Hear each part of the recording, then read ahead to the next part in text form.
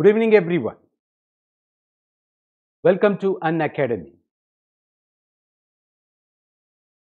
This is Success Sampath interacting with you. Ladies and gentlemen, do you want to become IAS, IPS, IFS, IRS? We Unacademy with top educators of India and meticulously designed quality content. We have been waiting for you, waiting to shape you especially. Once you enroll yourself in Unacademy, ladies and gentlemen, you will undergo a great learning experience.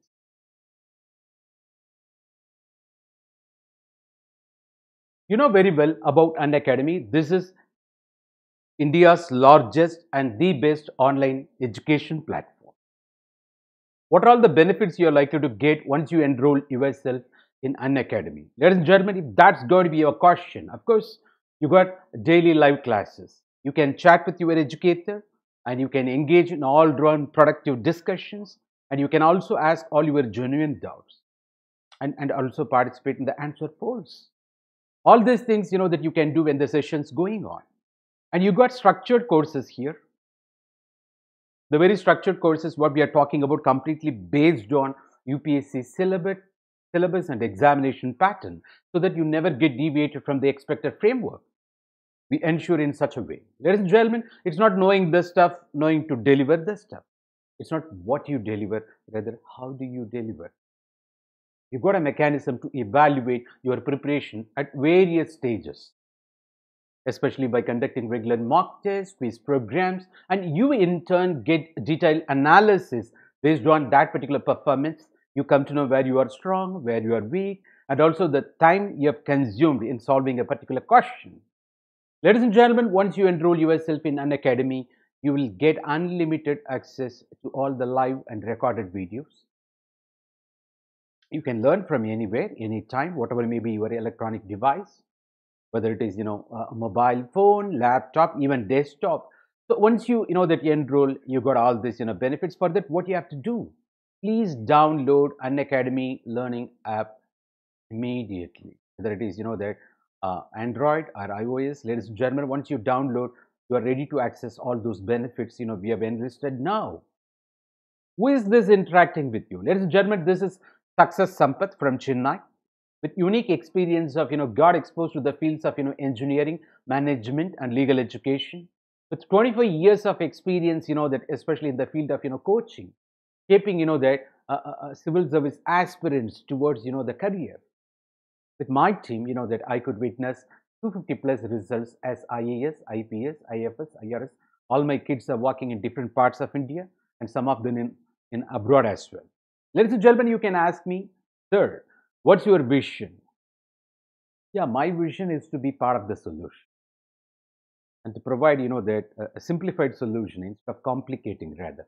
That is what the purpose. And, you know, uh, in that sense, of course, you know, that we would like to provide solution by enabling youth suffering, the career solution. Fortunately, this particular vision of mine is completely in alignment with, you know, Unacademy's vision. We are working together.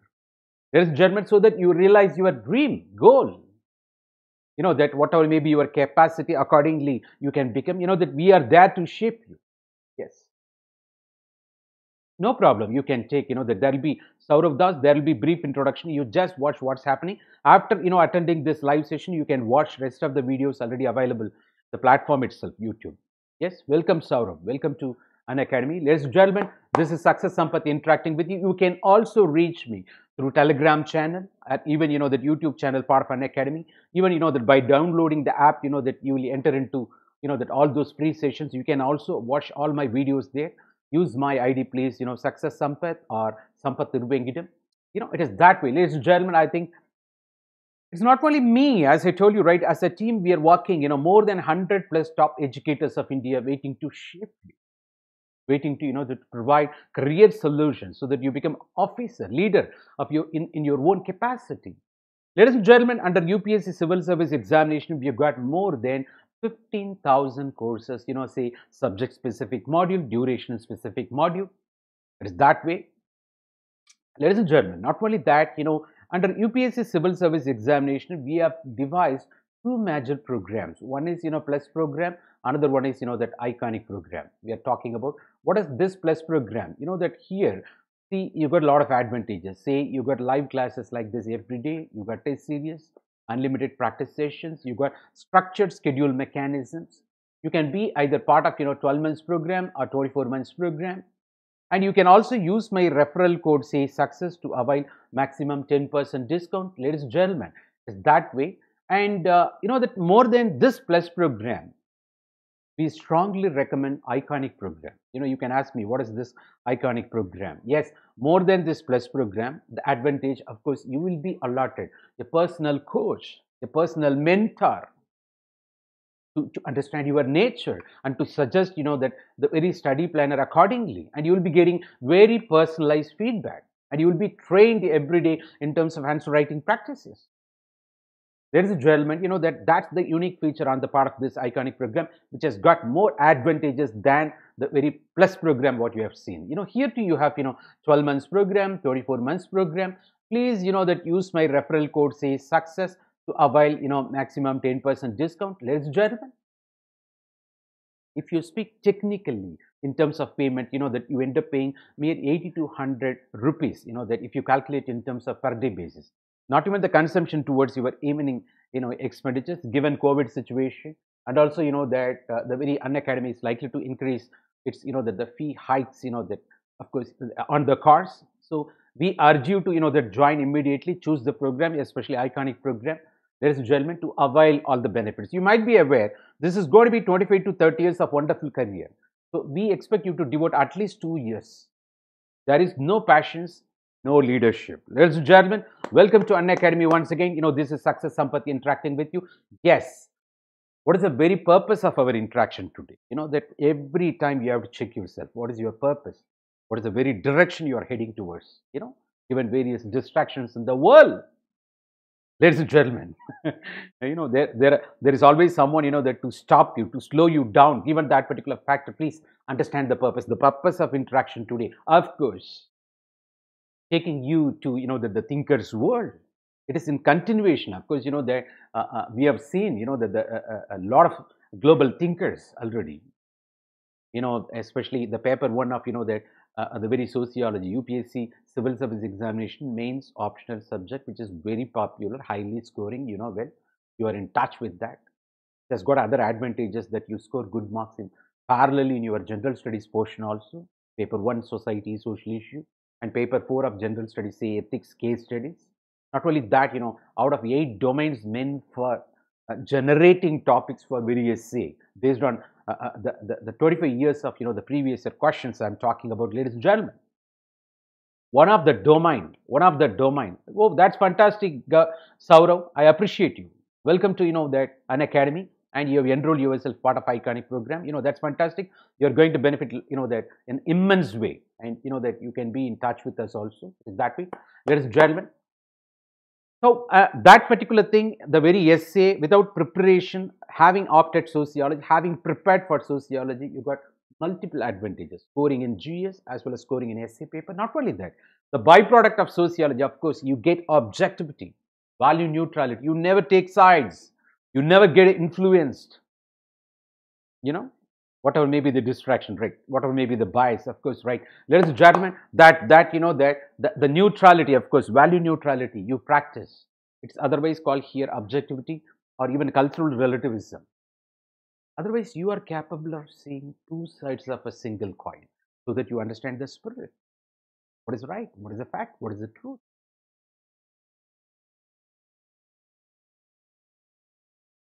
Getting reflected, I believe. I'm sorry. Yes.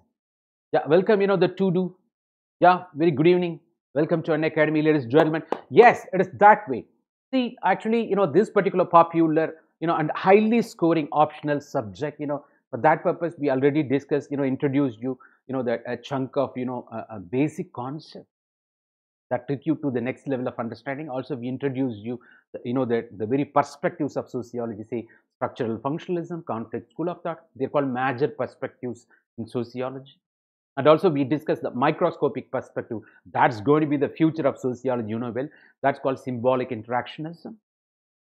And we also discussed in the name of, you know, the, the very thinkers, right? Thinker series. If you're good at thinkers, you know, that unit of paper one syllabus, you are capable of scoring up to 200 out of 250. You will come to know. You just analyze previous questions. Because not only that unit, all these thinkers will re-enter once again the rest of the units also in the name of various social institutions available, marriage, family, kinship, education institution, economic institution, political institution, even social change, social stratification, they re-enter. so that, you know, this is what the stuff, you know, that it is, it is given, you know, that in terms of units, uh, uh, uh you know, uh, based on social institutions and exclusively for thinkers also. If you're good at their paper one itself, you'll be scoring, you know, 200 plus out of 250, right? So uh, we we took you to you know that various social thinkers. They are called founding fathers of sociology. Of course, we discussed you know uh, in the previous videos. You know, please you watch.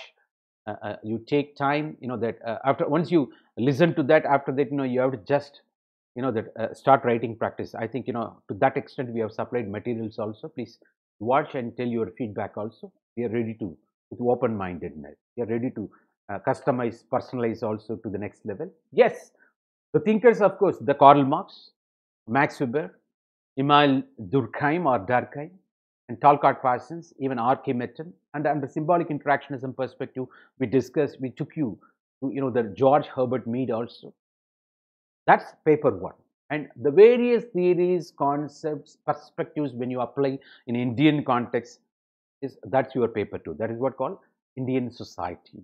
There is a German, the subject is very simple. Stuff is same. When you do it at the global level, uh, theories, perspectives, paper one, you know, that apply it in Indian context, paper two, that's all. But, but you have to bring local flavor, no. For that, we have to invite, you know, Indian sociologists. In that line, we took you to, you know, that Indological perspective of G.S. Ghurye. And G.S. Ghurye, Govind Sadasiv, you know, that Ghurye, said to be the founding father of Indian sociology, ladies and gentlemen. But that's what, that, that, that, that was called as, you know, Sanskrit textbook based view bookish way. And also he was accused, you know, that uh, upholding, you know, that supporting, you know, that upper caste, uh, uh, uh, uh the Brahmins' dominant values. Even M.N. Srinivas structural functionalism also was criticized on that ground, you know that. Right, it is that way, but but but that's said to be the foundation. But but he has got his own characteristic difference from uh, the colonial writers, you know, who wrote everything about India for exploitation purpose. But whereas he took to the next level. And but the very G.S. Ghurye's contribution was criticized as, as if, you know, that more of ideological than sociology. You know well, all those steps we discussed. And uh, then we took you to the, you know, the world of structural functionalism by Mysore Narasimhachar Srinivas. Oh, well, well-renowned Indian sociologist, happened to be student of that uh, uh, G.S. Ghurye, you know well. We discussed and, and and he you know that tried to you know that relate because you know he got inspiration from social anthropological world especially Radcliffe, Brown, Malinowski might be ever even to some extent with Ivan Pritchard, you know well. So his bone of contention happened to be, you know, that uh, trying to understand Indian society, especially in terms of village studies, even the caste to some extent. And apart from that, M.N. Srinivas, you know very well, you know, that uh, uh, uh, uh famous for the household phraseologies like you know that uh, dominant caste and vote bank politics westernization sanskritization we spoke everything. When he was trying to understand indian society the social change in indian society he spoke in favor of uh, the very cultural changes under the banner of sanskritization westernization you know that. Not only that even the very structural functionalism under which how all the elements of the society coordinated in such a way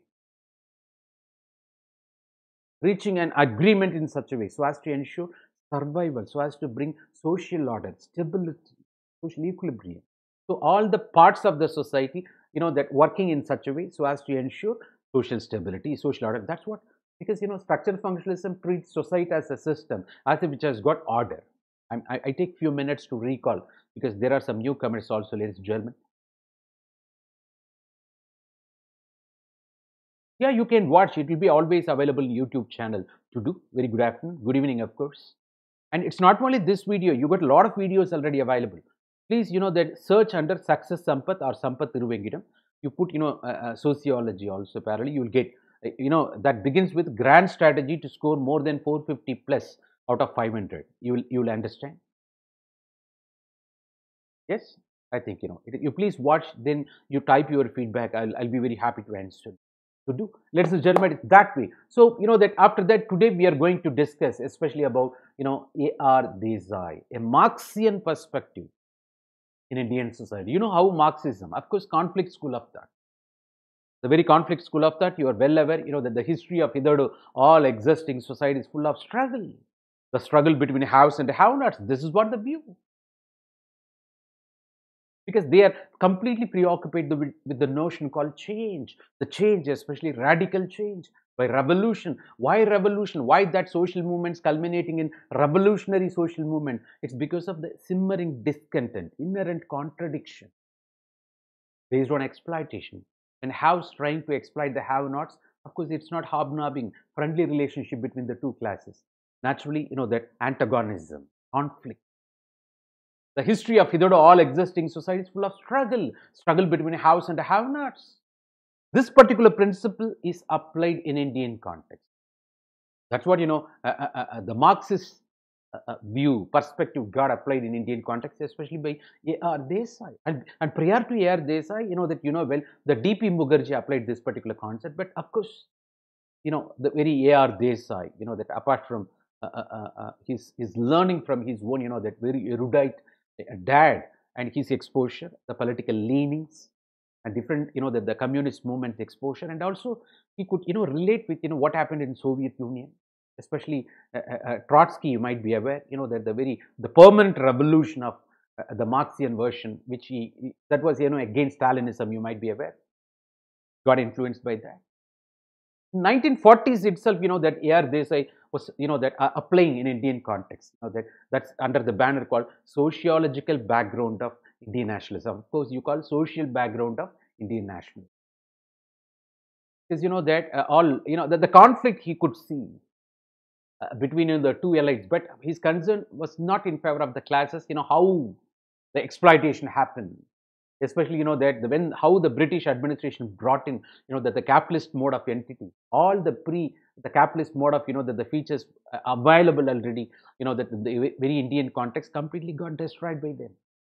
So they were preparing the very india towards capitalistic mode which is not free from you know that the exploitation.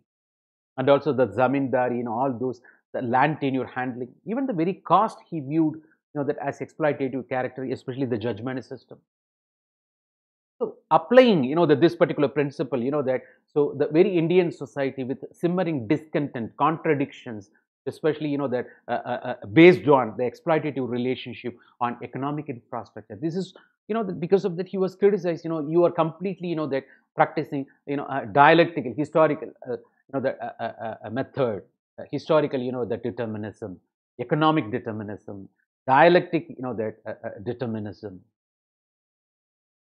dialectic materialism rather because you know completely based on ownership over material resources it's not hobnobbing contradiction citation. That culminated that way he gone to the extent of even accusing you know that uh, uh, uh, uh you know uh, the father of the nation mahatma gandhi he was quite silent in convincing the workers in favor of uh, the very you know the factory owners. He gone to that extent There is a judgment we are talking about that. So this is different view from Indological perspective to structural functionalism perspective to applying Marxian, you know, perspective in Indian context. Because, you know, this struggle will, you know, that is what in India's path of development, having analyzed, you know, that the very India's independent struggle in five phases, he predicts, you know, that the future of India is going to be the capitalist nation with not free from, you know, that all-round exploitation and also communalism in place. That and all his prediction course, that was criticized as nostrum. That's totally different scenario. Ladies and. And also, you know, that very A.R. Desai says, you know, Indian constitution, the, the myth of welfare state, he highlights. You know, that, but that's not happening, you know, that because given the fact, you know, why? The very introduction of this, you know, that uh, uh, uh, the Marxian approach in Indian society, when he was trying to understand Indian society, and, uh, you know, that that was outrightly rejected by British administration, you might be aware. And not only that, people were completely preoccupied with the notion of the euphoria because of the various plans, five-year plans we introduced. So in 1940, when he was trying to, you know, introduce this contribution, you know, uh, uh, no takers, people rejected this. But of course, the situation happened later that facilitated him that became you know in favor of AR because you know the, the failures of various planning missions. People got disappointed and, and, and widening social inequality. Even the Green Revolution we accuse, na? you know, though we may be talking about India attaining self-sufficiency in food grains, not free from you know regional influences the regional differences, you know, that uh, uh, uh, culminated because of green revolution, widening inequality. Rich gets richer, poor gets poorer, and you know well. That's why it was called, you know, that uh, it favored few crops, the wheat revolution, brown revolution. The widening inequality quite dangerous to social order. That's why red revolution. All the brown revolution. It is that way, ladies and gentlemen. So, you know, for every coin has got, you know, two sides. It is that way. So, you know, that probably you know, the, the very A.R. Desai took into account, you know, that other angles, you know, the Marxian angle we are talking about. So all these, you know, the failures, you know, that maybe because of bureaucracy or, or ruling dispensation, ultimately the situation became quite ripe, especially in the 15th sociological conferences, he re-emphasized once again this. So it started working that way. So, so understanding Indian society from Marxian perspective, especially in terms of history of India is nothing but history of struggle, struggle between haves and have-nots, especially to have control over economic resource. There came struggle. The India's independence struggle was construed that way. Because you know local elites unable to control that time you know they they have they had fight with you know that uh, the very British elites they were thrown away but the, now the, the, very you know independent india became open for you know that indian exploitation like you know that the indian elites exploitation. That way that elitist approach. Of course, because of Mahatma Gandhi's Indian struggle acquired, you know, the, the mass movement character, that's totally different scenario. From Marxian perspective, he applies that. Of course, Mahatma Gandhi himself got influenced by, you know, the, the very Russian, of course, Soviet Union's, you know, revolutions. He brought, you know, that uh, uh, uh, the mass solution for this. The practices, you might be aware, it is that way. But, but you know, you can't, you can't, you know, call him as a communist. That's totally different scenario. But you know, even Karl Marx, you know, there was a prelims question this year also. I used to emphasize in all my classes. Both Karl Marx and Mahatma Gandhiji were dreamed of egalitarian society where everything is for everyone. But Gandhiji took, you know, that ahimsa policy, satyagraha, whereas, you know, that Karl Marx took the path of, you know, of course, you know well, revolution, where violence is not ruled out. Violence is the midwife of revolution. You know, uh, uh, uh also rule with barrel and guns. You might be aware where violence is not ruled out. Of course, the radical revolution, uh, the very Karl Marx, you know, spoke about this. So the, the end is same. Both, both, you know, that leaders, you know, that aimed at same end, but different paths you might be. It is in Germany you have to understand. So that's what the beauty of, you know, great leaders. So everybody at the end of the day spoke, you know, the same end you will come to know. So ladies and gentlemen, it is that way. So the various perspectives are born of contention. Ladies and gentlemen, welcome to, you know, Unacademy. This is Success Sampath, you know, interacting with you, especially on, you know, the sociology thinkers portion. Having completed paper one thinkers, we are now discussing, you know, that uh, Indian sociologists, Indian social thinkers after Indological perspective of G.S. Ghurye, structural functionalism of M.N. Srinivas. Today we are discussing, you know, that uh, Marxian tradition in Indian society, especially by A.R. Desai, you know, the social background of Indian nationalism, you might be aware. Yes, Yes, Tudu, you can reach me in Telegram using my ID, say Success Sampath or Sampath Thiruvengram even. You please watch rest of the videos available from the beginning. Probably, I assure you, you will get benefited. If you got any difference of opinion, you know, you please type. I'm ready to personalize myself. I'm ready to serve you there. Ladies and gentlemen, welcome to Unacademy. Once again, this is Success Sampath, especially on today's interaction, sociology, Indian sociological thinkers, A.R. Desai. Yes, that's a brief introduction, of course. You know that uh, very sociology in all videos we are emphasizing the Indian thinker syllabus we are going to witness and also how the questions are asked the UPSC examination for this you know A.R. Desai the Indian uh, sociologist of course you know belonging to uh, the Marxian tradition in Indian society and also A.R. Desai's you know that socio uh, you know that background and his political leanings of course biography and his contribution social background of Indian nationalism and, and his exposure to India's independence struggle. And also, you know, that his recommendation, the India's path of development. And finally, we have to criticize. Nobody is free from criticism in democracy, including A.R. Desai. That's part of democracy, ladies and gentlemen. We are going to criticize on various grounds also. Finally, what are all the resources, you know, that can be consulted to enrich your understanding to the next level. Ladies and gentlemen, if you feel I'm going faster, you please type uh, type, you know, that accordingly I will, I will alter my style of delivery. Ladies and gentlemen, at the end of the day, it should reach you. The communication, the purpose of the communication should get fulfilled. Ladies and gentlemen, I think this is fantastic. It's, it's right time. Let me take you to the next level. I think you know very well the sociology, the study about society, science of society, you know, systematic study, integrated study. You might be aware, you know, that uh, we, we spoke everything and not only that you know that very popular scoring because of its subject matter you are part of the society you are living with and in the name of sociology i'm not teaching anything to you i repeat once again you know everything and my role is to connect your understanding with the different different you know uh, uh, happenings in your uh, society my role is to connect i repeat once again ladies and gentlemen what i'm talking here of course you got everything about you know everything about society i'm formalizing your understanding by supplying few nomenclatures, linking with different perspectives. That's all. I'm not doing, you know, that uh, more than that because you know everything. Once you learn, learn this subject, you will agree at the end. You know that that's I, I'm I'm pretty sure about it, ladies and gentlemen. So and uh, the very syllabus, of course, this is what your syllabus in paper two of you know that uh, syllabus of uh, your sociology, especially talking about Indian thinkers on Indian society.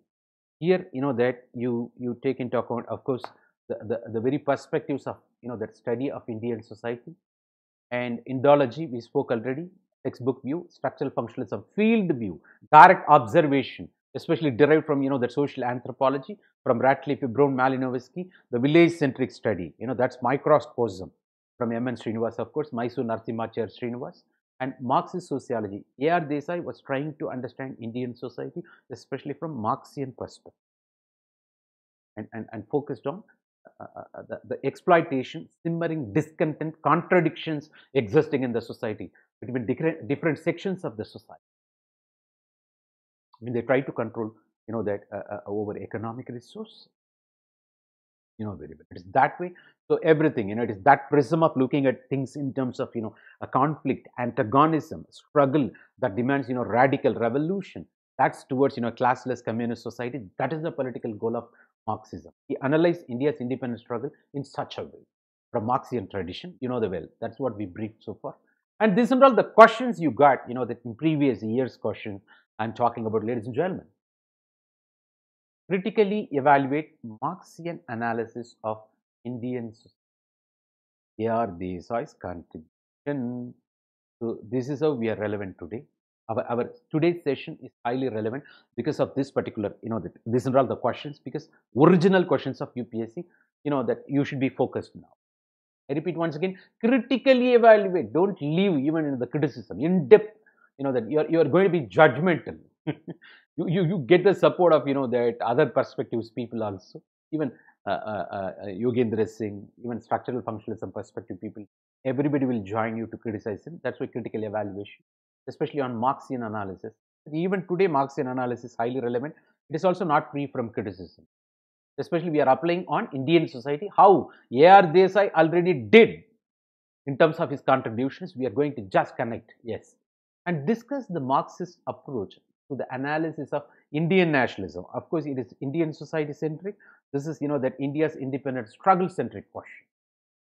Ladies and gentlemen, we are talking this way and analyze A.R. Desai's views on India's path of development. That's what I said, you know, the capitalist path we are heading towards that is highly relevant even today. That's what our leaning towards capitalist economy. That's why, you know, that the government is getting accused, the corporate driven politics, almost like falling in the toes of United States of America, you might be aware. And also, you know, that the ruling dispensation is not free from the accusation that even the India's foreign policy uh, uh, uh, unable to come out of the clutches of domestic politics. That is all the criticism the government is trying to fix it, whether it is Citizenship Amendment Bill or National Population Register that has got you know the challenges at the national neighborhood first policy you might be aware and apart from that and recent report also you know that given covid situation we already got you know that problem in terms of our economic aspect. And that got worsened because of you know covid crisis in spite of atmanirbhar 20 lakh crores. But recently you know you might be aware the imf you know that putting uh, the bangladesh you know that more than india in terms of economic development you might be aware. That's a bad story. And uh, uh, you know all these things you know that so so of course you know that our focus is somewhere. So we have to correct we have to take nation to the next level. Of course ladies and, ladies and gentlemen, we are talking that, of course, the global economy also, you know, that uh, uh, uh, is recovering to some extent. then we predicted, you know, that worst scenario in the past. So I think India's, you know, that GDP also will move to that level. Let's hope, you know, best out of our administration by our leaders, of course, ladies and gentlemen. So the analyze A.R. Desai's views, uh, that's what, you know, the capitalism and communalism, you know, that and also associated exploitation and, and, and the leaders coming together for the mass movement, all these things he predicted, then and there it's happening in different parts of India, you know well, just that way. Ladies and gentlemen, so it is also relevant what he predicted uh, happening, what Marx predicted also happening, but it's it, it can't be, you know, that it's it's not happening everywhere.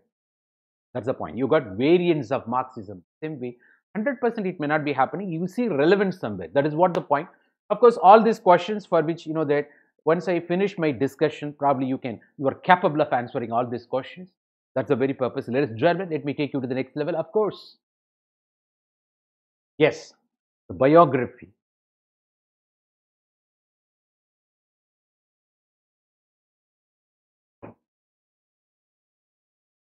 Excuse me, please, one second. Tolerate me.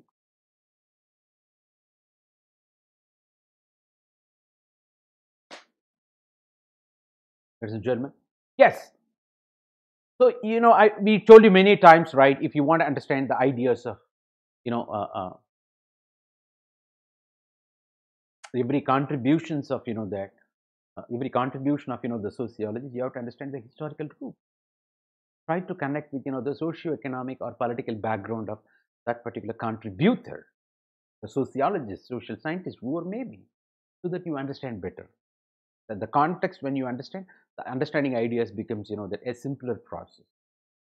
It is German. It is that way. We are going to you know look at you know that his background, the biography, and his political leanings. Of course, you know A.R. Desai. We are talking about who is this A.R. Desai? Akshay Ramanlal Desai, you know, belonging to a Bombay School of Sociology. You know, the line of, you know, he's also a student of uh, G.S. Ghurye, Patrick Geddes, G.S. Ghurye, even University was student of G.S. Ghurye, you know that. So Akshay Ramanlal Desai, A.R. Desai, in short we are talking. Especially in the 1915, you know, we, we celebrated uh, uh, uh, uh, the centenary celebration for this, you know, journal, of course. You know, you might be aware, uh, you know, birth centenary especially. So, the history of development of sociology in India, the contribution of A.R. Desai, was born, of course, you know, that 1915, you know, that, you know, 2015 we celebrated, you know, there was a fantastic article in also the Economic and Political Weekly, the wonderful information, but, and we need some more sources also to meet out our syllabus and previous questions, but that's good, you know, uh, uh, analysis, you know, especially from uh, uh Mumbai uh, uh, sociological world, right? You are aware. Hope you would have gone through that article. I repeat, Economic and Political Weekly. So, especially to commemorate that birth centenary of A.R. Desai. Ladies and gentlemen, he passed away, of course, at the age of, you know, that 1994. We are talking about, you know, that 2015, we celebrated birth centenary. For your kind information, so it is that way. Even the questions you can predict in such a way. Any sociologist birth centenary or death anniversary, death centenary, you know, whatever it may be, that that is what the uh, trend going on in general studies also, you know, in terms of institutions, as we say, Food and Agriculture Organization, 75th year, India's contribution, and uh, uh, uh United Nations Organization, 75th year, you know, all the stuffs. So it is the same way you apply here in Indian sociologists. Ladies and gentlemen, it is that way. Yes, on the occasion of his near birth centenary, that's what I spoke. Yeah, yeah, relook at, if we look at contribution may be considered imperative, essential, the light of the growing dominance of Western imprint on social. This is what he was very much worried. Um, both G.S. Ghurye and his student, of course, M.N. Srinivas of structural functionalism, G.S. Ghurye of Indological perspective, both were trying to give indigenized uh, version for sociology, indigenized resources, support, you know, that or delineate the subject matter of sociology. But, you know, but when, uh, uh, you know, the very A.R. Desai was trying to understand Indian society, especially from a Marxian perspective, he could witness that, you know, complete Indian society Uh, uh, uh, could witness, you know, the, the, impact of the Western imprint. Maybe it is because of 150 years of roots of very British administration and prior to that, when East India Company, even, you know, very well, the European colonization, and the Portuguese, Dutch, English, Danish, French, all these people, you know, the, the colonial parts. Of course, Western imprints. Okay, so that's you know that's true also. Akshay Ramanlal Desai, A.R. Desai, acquired inspiration to study and explore explore you know the, the facts about the very human society under the influence of his father, erudite, scholastic father, Ramanlal, you know, Vasantlal, R.V. Desai. He is A.R. Desai, and his dad, of course, R.V. Desai. We talk about, you know, that who is also, you know, that well-known, well-known, you know, that writer for your kind information, ladies and gentlemen. Is that what we are talking about? You know, when he was, you know, that in teens, he joined various social and, and political movements, you know, that, uh, you know, because, you know, uh, uh, 1915, you just imagine, you know, that his growth, you know, that the teenage coincided with, you know, that the very peak period of, you know, that India's independence struggle. So naturally, you know, that you can't be free from that, you know, national mainstream or what's going on in your nation, the political awakening, the religious, social religious reform movements, you know, of course, and, and mass leadership by Mahatma Gandhi, you know very well. Uh, that was very, you know, that uh, a serious attempt during those times, of course. Naturally, he would have, you know, that participated, you know, well. So especially the places like, you know, his political experiment, laboratories, of course, a place like, you know, Baroda, uh, Surat, Mumbai. Today, you know, that, of course, you know, that you talk about all those, you know, that when he was at, at yet to reach, you know, that, of course, you know, prior to 20, the emergence of socialism and its aftermath, especially in Soviet Union. Erstwhile Soviet Union, today you call Russia, after shattering of that Soviet Union, United States of Soviet, you know, Russia into the 1990s, you might get it. So, you know well, now it is mere Russia only, but erstwhile.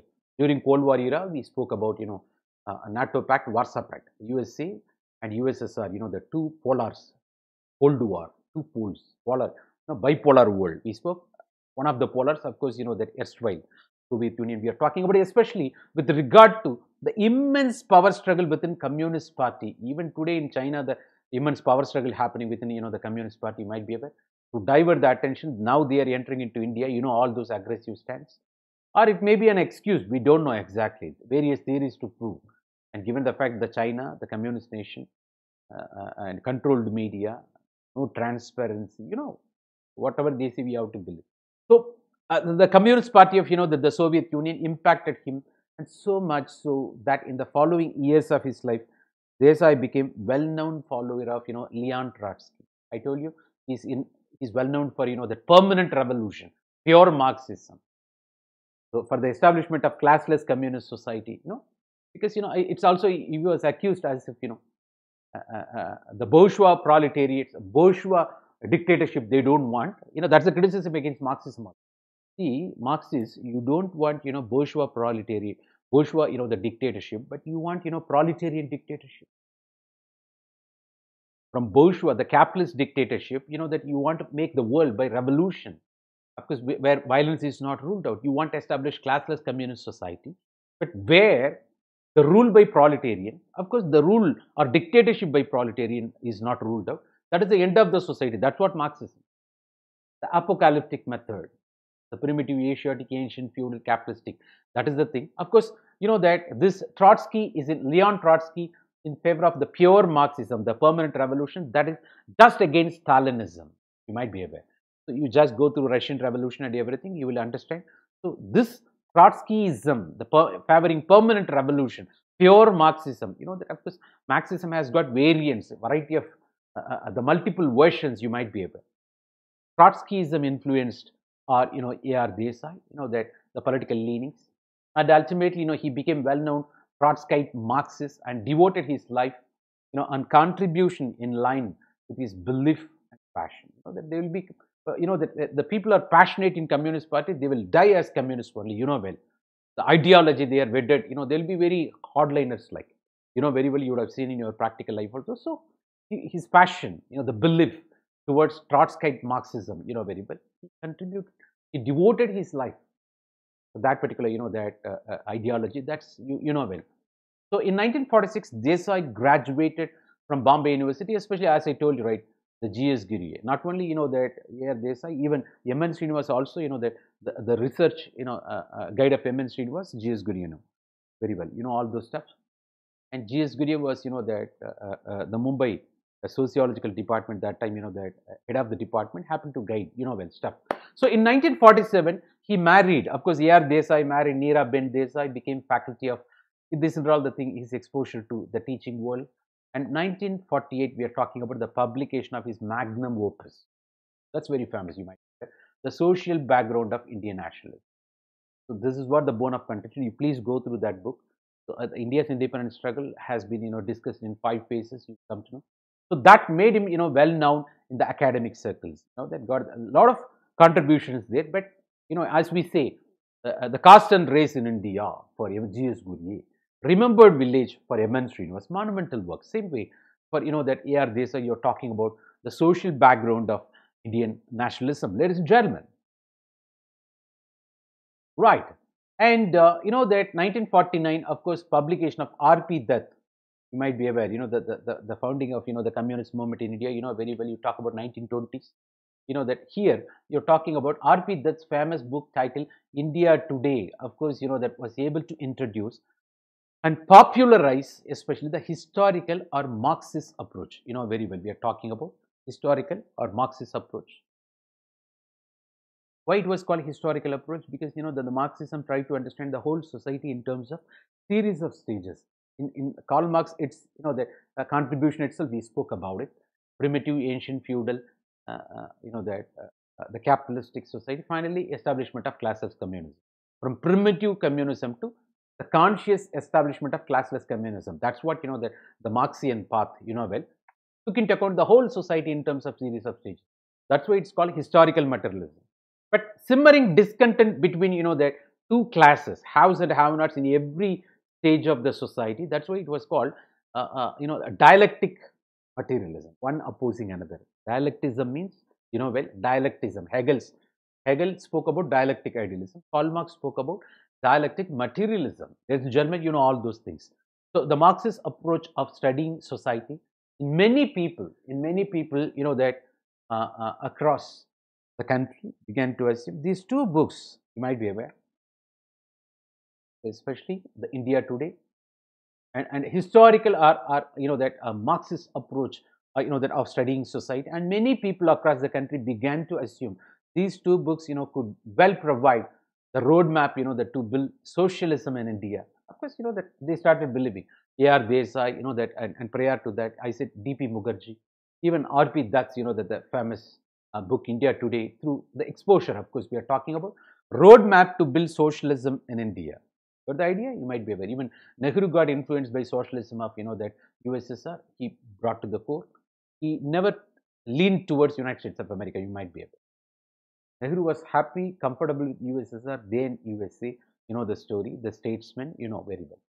In India, following the legacy of, you know, Karl Marx and also, you know, that you talk about Leninism. It is Germany, that way. So, roadmap to build socialism in India is that way. As a matter of fact, the decades subsequent to the emergence of you know that socialism in Soviet Union it was Russian Revolution 1917 that led to significant spread of socialism in many parts of the world including the countries of Eastern Europe. You know, even today you talk about na, all those Eastern, Eurasia, the portions. They were, you know, that erstwhile uh, uh, uh, the members of, you know, that USSR, you might be aware. Even Ukraine, you know, that uh, Romania, Ukraine, you know, that all those things, you know, you're talking about nations surrounding the very borders of, you know, the European continent and also the beginning of uh, uh, uh the West Asia. You talk about, ladies and gentlemen, the northern West Asia, especially. In that way, ladies and gentlemen, let me take you to the next level. Yes, the major contributions of this A.R. Desai under, under different titles you call the social background of Indian nationalism, the rural sociology in India, the slums and urbanization of you know that India you're talking about and state and society in India, the peasant struggle in India. See, see the flavor of the very Marxism everywhere. And, and uh, he also wrote another contribution, of course, especially the 15th, uh, uh, the sociological conference, the myth of uh, uh, the welfare state, you know well, right? The rural India in transition and India's path of development, where he spoke about the capitalistic model in India and associated issues the communalism, the mass movements, all those stuffs. You know, he predicted that's true also, it's relevant. You're talking about.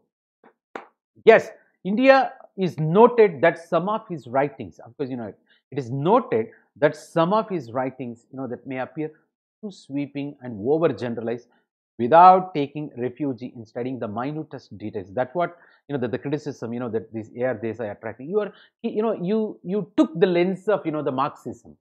You started understanding Indian society from that particular you know the cooling glass. You started wearing Marxism cooling glass. You started looking at things. You have to understand if you want to understand India thoroughly. You have to understand uh, it is a, a predominantly Hindu social organization, majority Hindus, the very religion, socio-cultural structure in India and caste-centric society. By outrightly, you know, rejecting this socio-cultural framework, you, you, you, know that you simply, you know, that uh, uh, uh, position all your, you know, that uh, theories only in terms of economic determinism. That that may not be appropriate. That's what the criticism, you know, that for this year, you know, that Desai, you might be aware. And uh, without studying the minutest details, of course, that talks about, you know, the socio-cultural pattern, even the caste system, you know, this is all the things. That's the criticism we are going to discuss at the end also. You know, his preoccupation with Marxism or economic determinism or exploitation, struggle, change, that way. So, the, the schools of, you know, that Indian social thought, you know, what are all the sociological schools in India, you know, that you have to understand, you know, hitherto structural functionalism, conflict school of thought, symbolic interactionism, we discussed in the paper one. When we talk about paper two, Indian sociologists, Indological perspective, structural functionalism, another one Marxian perspective. Apart from that, different different schools, geographical uh, variations, uh, the schools of thought, you know that in, in, in especially the sociological angle for your kind information, we can group that way also. So the classic Indian sociology had declined in the last hundred years of the discipline, you know that because you know that the, the contributions, you know, it is it's totally you know that what Karl Marx said right, you know the people are running after uh, the economic sense, the technology, and, and, the forgotten role of basic sciences and forgotten role of art subjects also, where where some of the you know social sciences you know that coming down might be aware, and and even you know that uh, the political economy, even in diplomacy, economic diplomacy becomes famous. So the world is running after material world. Huh? It is that way materialism, the globalization, economic recession. We are pretty, of course, with materials only you can fulfill the needs. That's totally different scenario. Uh, uh, that's why you know various indices there should be shift from mere economic development to concomitant social development. You're talking about even HDI. Uh, uh, the Pakistan economist Mahbub ul Haq, even Amartya Sen joining there. Even gross national happiness index we are talking about. We are completely preoccupied with that uh, the particular you know economic determinism ladies and gentlemen we are talking that way of course right? So it's it's vain. Of course, you know that the last hundred years of you know that uh, the decline that you see, the Indian sociology was enriched by sociologists and social thinkers. Who are they? They are from different circle. If you talk about Lucknow school, where you talk about Radha Kamal Mukherjee, R.K. Mukherjee, and uh, you know Dhurjati uh, Prasad, D.P. Mukherjee. That's what I say. This D.P. Mukherjee introduced you know that this Marxian version uh, Marxian way of looking at Indian society prior to this A.R. Desai. Now, for your kind information, and also D.N. Majumdar, ladies gentlemen, they belong to Lucknow School of Sociology, and you got Calcutta School. Calcutta School, of course, you know that uh, A.K. Datta, you know that Akshay Kumar Datta we are talking about, and and Binoy Kumar, you know that Sarkar, you know Binoy. This is all the name itself. You will come to know Calcutta, and and Brajendranath, you know that Seal. You know they belong to Calcutta School. You should understand as you got, you know, that in the United States of America, of course, you know, that the Chicago School of Sociology, where you talk about relate with, you know, that the very symbolic interactionism. Huh? Ah, yes, you talk about it is that way, ladies and gentlemen. So here too, you have Lucknow School, Calcutta School, city-centric, of course, you're talking about the Bombay School, especially where you know that we said, you know, our AR Desai belonging to this particular school. Of course, after Patrick Geddes, G.S. Ghurye, you also add, you know, that AR Desai.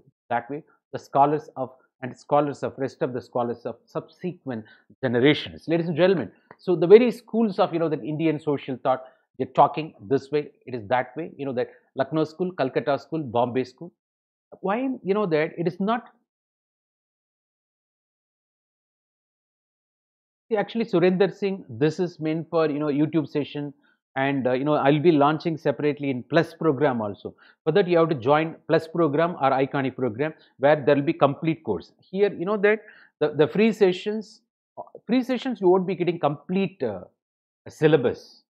Only in Plus program and Iconic program you will be getting you know the, the courses, you know that launching of courses especially you know, that meant for the plus program or iconic program. You please enroll, subscribe from there. You'll get complete program. Don't worry about it. You know that for sociology, I'll be handling, especially English medium.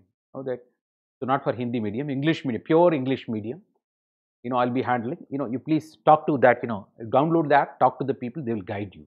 I repeat once again, plus program or iconic program. You can use my referral code, say success, to avail. You know the 10% discount there itself. Surinder Singh, you know that all complete programs you will get only when you subscribe. But you got you know that a substantial portion free sessions available part of YouTube as well as you know part of uh, Unacademy Learning App. You please you know download. You go through. You will come to know. If you want full course, you have to enroll yourself. Subscribe the courses. Please enroll in Plus program or Iconic program. And also they are talking about increasing of fees. You know that you please you know that do it you know as as, as soon as possible, you know, that uh, so it works in your favor. Ladies and gentlemen, it's that way. Right. Let me take you to the next level. Yeah, we are talking about, you know, the Indian schools of, you know, that uh, sociological thought we are talking about. So apart from geographical region-based schools of social thought, there were several approaches, you know, that of studying Indian society like diffusion. Diffusion means spread. Diffusion is school. Indological school, you know very well. You know, G.S. Ghurye. Historical or Marxist school, we are talking about D.P. Mukherjee, A.R. Desai which began to, to subside gradually since independence of India, leading to remarkable development of sociology, but under the influence of ages of Western ideas and preoccupation. When you talk about Western ideas, of course, you know that uh, anthropological world, you know, structural functionalism. Of course, Radcliffe, Brown, Malinowski. You go to you know United States of America, of course, where you bring, you talk about you know uh, Talcott Parsons, Robert K. Merton of structural functionalism. That way, that way. So the Western ideas and preoccupations, you know, seeping into, penetrating into the Indian sociological thought. So rest of the ideas, you know, came down. This is reality you have to understand. You as a civil service aspirant, nothing to do with all these things. Just understand score, you know, that uh, uh, uh, good marks, 450 plus out of 500, get good ranks, become officer. That, that should be, you don't worry. You, you are not, you know, that academician. Your role is to become officer. Right. The Department of Sociology, University of Bombay, of course, you call Mumbai now, started functioning, you know, that since 1919, the five years after the World War, of course, 1914, you know very well. So they are, they are positioning the contemporary, of course, the westernization of sociological thought of India was found to be so profound. The department, you know, uh, and, and that of many little tradition. You know, what is Milton Singer, McKim Marriott, you will come to know, you know, that a lot of Indian sociologists uh, uh, we are talking about you know little tradition, great tradition, a particular practice, cultural practice, even you know institution based practice, social institution based practice, religious practice, uh, practice over a small area by, by you know small sized population, little tradition. When it is embraced by the global community over a large area, it becomes great tradition. From when you move from little to great tradition, you move from parochialization to universalization, parochialization to generalization or universalization you, you come to know. In, in Yogendra Singh, you know, that modernization of Indian tradition, we'll be speaking more. When you, when you talk about, you know, social change, we're going to discuss those ideas also. Let's limit to this little tradition. You know, of course, the department, you know, that, that many of the little tradition which could emerge in the course of development of, you know, that sociology, in the first part of this time period was unable to snowball, you know, that uh, to acquire further momentum. You know, that something happened but that did not move ahead, you know, that we are talking about, whatever may be. So the westernization of sociological thought was having profound impact in Department of Literal Tradition that you take into account, the influence of Western uh, sociological thought. Instead of, you know, that uh, instead the sweep of westernization, of course, you know that what is westernization? Aping the West. Even M.N. Srinivas, you know, pet concepts you might be aware, the famous phraseologies, westernization, sanskritization, addressing. When you are trying to understand you know the change in indian society you address cultural change through westernization and sanskritization. Westernization is all about aping the west copying the west imitating the west western lifestyle humanitarianism rationalization. Just that way you know, westernization. So the sweep of westernization because 150 years of british rule in india that's why the westernization the western impact you have to understand. The sweep of westernization was so domineering that the indigenous traditions which had been intrinsic feature of you know Indian sociology began started yielding. How? Began to succumb the pressure of you know the westernization or and perish gradually. Is that way? You know, as I speak English, my dress, all over art and architecture, the influence. Yes, definitely. Nobody is free from influence. But in Indian context, as said by Yogendra Singh, the modernization of Indian tradition, in India, it's unique uh, structure, unique feature, the characteristic feature of Indian society, where you see both traditionalization and modernization working in parallel, side by side. That is what we are talking about, ladies and gentlemen. It's that way. So, the, the historical or Marxist approach of studying society as envisaged by Desai was no exception. It also, you know, that yielded to the, the, the very pressure of westernization, you know, that started perishing. That is what the meaning, you know, that. So, that's the thing, you know, that uh, what idea dominates in a particular, for every thesis you got antithesis, then there will be synthesis. The very historical or Marxian ideology, you know, that, so along with the discipline of sociology and, you know, that, and they started yielding to the pressure of westernization. Otherwise, using in Indian sociological thought the presence of the Western domination.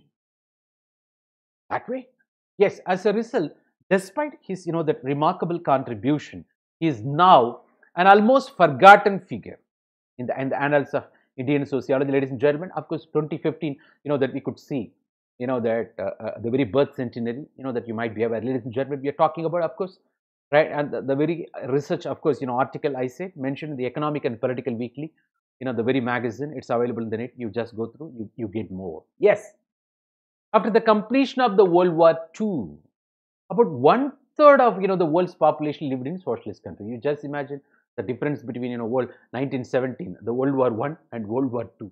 So one third of the world countries, you know, the world's population lived in socialistic country. You know, the, the Marxian version, you might be aware, the very ideology, the establishment of classless communist society. But you don't find pure Marxism everywhere. All are variants of Marxism, hampered version of Marxism. You know, China is communist country, but they've got classes. And they won't allow even simple protest. How come you can think about, you know, the very revolution? But it is not after seeing uh, uh, uh the capitalist society, they have moved to that, you know, establishment of classless communist society. The peasant society itself, they embraced communism. You know, well, uh, uh you know, the Karl Marx itself, we explained you, is that way. So, one third of world countries, you know, uh, the world's population with you know socialistic countries you might be aware so apart from em remarkable emergence of the very socialism in several parts of the world. The weakening of british monopoly the colonization era gone you know well. The weakening of you know because you know uh, uh throughout the world they were widening tentacle. The very birth of american civil war you might be aware you know all those stuff. So you know uh, uh, uh down to dusk you know that you travel in their lands you might be aware. So the British monopoly power led to remarkable, you know, the, the you know the, that people got affected by their colonization. There came in ultimately anti-colonial, anti-imperial struggles. And you know that Afro-Asian countries, you know, even the very birth of non-aligned movement, Afro-Asian conference, they don't want to see the imperialism once again. Anti-imperialistic, anti-colonial, you know, uh, uh, uh, the, the neo, anti-neoliberal also, you know well. So the very formation of non-aligned movement. The same way, the remarkable growth of anti-colonial, anti-imperial struggles in many countries of Asia, Africa, and, and South America, Latin America too. Ladies and gentlemen, the deep interest of you know that A.R. Desai with regard to the growth of Indian nationalism. Ladies and gentlemen, we are talking about see all the PPTs what we are discussing for optional subject. It's not like uh, uh, you know that a routine uh, the regular what we do with you know the general studies because normally this is not the way of presenting ppt let me say you once again because you know but we we we, we have to give only words few words not this much of paragraphs and all but they are very conscious why we are giving you know uh, uh, the very best phraseology the keywords you know i want you know that you to get exposed that's the very purpose so then only you you get the core of you know the concepts that's the very purpose of giving so that you know your writing becomes better you understand you deliver, you use all those keywords. That's the very purpose. We can't compromise. It's not simply saying, you know, that so you will listen and you will forget later. So you watch, parallel stays with you, registers in you, you know, that so that so that that transforms you. That's what the very purpose, ladies and gentlemen. So the deep interest of Desai with regard to the growth of Indian nationalism would snowball into, you know, that uh, uh, due to contemporary social situation of then India. The situation happened in India in such a way, the India's independence struggle. You know that this Desai passionate about you know Marxism, and you know, the, you know the influence of you know that uh, the Trotsky uh, Marxism, especially uh, influenced by Soviet Union, you might be aware. So the growth of you know that Indian nationalism could snowball into uh, due to the contemporary social situation. You know that in, in the then India, after all, India also witnessed the weakening of the very British power. You might be aware. We were about to you know send them. Yeah? India about to get you know independence. That is the situation. You know that India about to come out of the colonization from the clutches of exploitation and economic imperialism. You know it is that way. So the, the social background of Indian nationalism he made a classical analysis about the genesis of Indian nationalism, you know, that from a social perspective by adopting Marxian approach, historical determinism, historical materialism or dialectic materialism of Marxism otherwise, the historical approach, you know, that he took into account, you know, that the contemporary from there.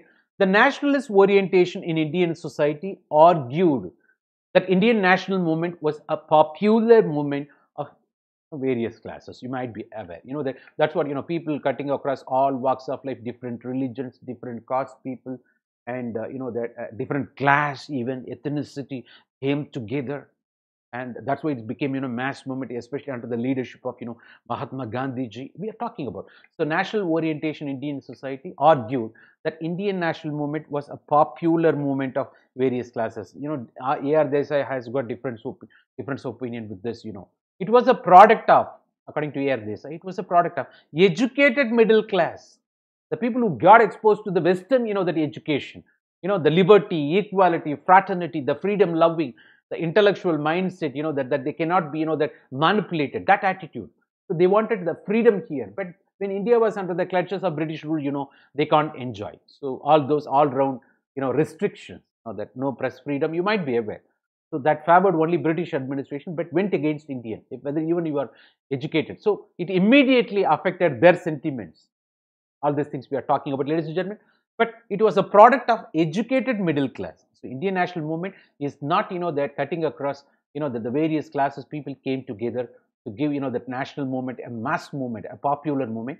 But it, is, it was the product of educated middle class, which was the prime factor responsible for Indian independence. Because the, the struggle, the conflict between, you know, that Indian Western educated intelligentsia versus, you know, that uh, the British elites, British ruling elites, British colonizers here. That culminated. Of course, you know, Gandhi, our, our Mahatma Gandhi, Pandit Nehru, even Sardar Vallabhbhai Patel, you know, all are uh, the barristers, you might be aware. You know, prior to that, the grand old men of India, Dada Dadabhai Naoroji, the 19, you know, the 34, and, and you know, uh, uh, uh, he highlighted about, you know, the, the brain drain theory, you might be aware. So all Western, you know, that educated intellectuals, intellectuals, no doubt at all.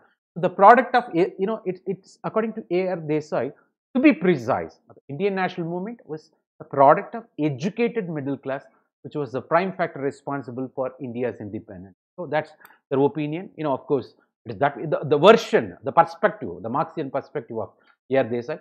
This class this educated middle class converted the freedom struggle into mass struggle. Of course, where you bring Gandhi here, Nehru here, Sardar Patel here, you know, Pandit Nehru, everybody. It is that way, you know, it is that way, you know, that we are talking about. Ladies and gentlemen, let me take you to the next level. The politics of mass line, mass emancipation, otherwise, you know, the mass participation you call, that will be appropriate, was Gandhi's definite, you know, the, a gift to India's freedom movement. Of course, you know, the South Africa Natal, especially that became his political laboratory. He practiced, you know, that uh, and helped uh, uh, uh, uh, the black people to fight for their own liberation. You know very well. You know that of course he could inspire. Nelson Mandela, you know that African Gandhi, African National Congress. You know well all those stuff uh, we are talking about. It is that way. So there, when he was thrown out of you know the vintage train, you know that uh, uh, Mahatma is born, you know the story ultimately. So from there he came to India. That's what even today you celebrate Pravasi Bharatiya Divas Day, you know Gandhi's entry into India from South Africa. It is that way. So, you know, it's a gift. When Gandhi entered into India's independence struggle, it became mass movement. It's a gift to, you know, that India's freedom movement, uh, you know, that a single uh, individual could give, you know, that uh, mass leadership. And that too with Satyagraha, Ahimsa, a tool which brought down the mighty British Empire you know well all those stuff so which was unable to you know that uh, come across prior to you know that the freedom movement which was unable to come across prior to gandhi's appearance the scene of indian politics ladies and gentlemen you have to understand it never became mass movement. You know, people got uh, the oneness uh, uh, as one nation, the nationalism consciousness never came, but British, you know, came through their exploitation, they, you know, that uh, uh, the unintended consequences, you know, that brought uh, the victims together, the victims of exploitation, colonial exploitation. So there came the nationalism spirit, one nation, but the mass movement, you know, that the character came to India, especially the India's independence struggle under British rule, because of the entry of Mahatma Gandhi. That's the greatest gift you might be aware. Prior to that, it wasn't there. That's the point. But it needs to be borne in mind that the politics of mass line did have its finest expression, the form of Bolshevik revolution. Same thing, you know, the people brought, of course, the radical revolution, throwaway, mass movements. They're talking about leading to the formation of socialism in USSR. The very Bolshevik revolution led to, you know, that the establishment of socialism in USSR, especially, you know, that uh, uh, in, the, in the world. First time in the world we are talking about in Soviet Union, then USSR you're talking about, you call Russian Revolution 1917. The same way, the mass movement here in India led to India's independence struggle. Ladies and gentlemen, we are talking about this way. Is that, I think that's appropriate. And Gandhi perhaps, you know, borrowed the idea from Lenin and implemented Leninism, of course. But whereas A.R. Desai, you know, that we are talking about Trotsky Marxism, the permanent revolution, you might be aware. So uh, the Leninism and, and implemented in Indian context you know that following peaceful means ladies and gentlemen you know that you know very well. Everything owned by state the state will be run by people. You know the stories even the leninism stalinism you know all those stuffs ladies and gentlemen. So desai did question ar desai did question the fundamental motive. The fundamental motive of course you're talking about yes? Yes ladies and gentlemen. So uh, the fundamental motive of uh, gandhian politics and he expressed his, you know, that the candid doubt. Let me repeat once again. So A.R. Desai did question the fundamental motive of Gandhian politics and express his candid doubt. You know, why you did, as we doubt, you know, the British colonization here, not for creating welfare state.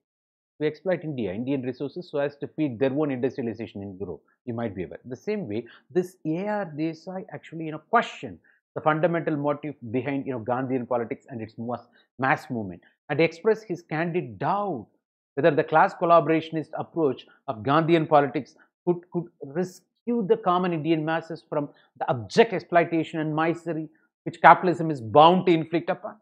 Question Gandhi. Gandhiji, what's your motive? Of course, that, it's not questioning directly you know that of course we are talking about it this way so gandhiji's politics you know that he questioned you know that and express his candid doubt whether the class collaborationist approach you know this is class collab multi classes people coming together and making it a mass movement. For what purpose you come together? You know the, the gandhian politics it was called could rescue are you going to rescue the common indian masses from the abject exploitation and misery which which you know that more than british people the very capitalism of the british people you know that inflicted even today that's what you know that in india's path to economic development the capitalism will always bring you know inflict upon people the very exploitation because the tendency of you know capitalism you know is to is to earn profit. Might be aware.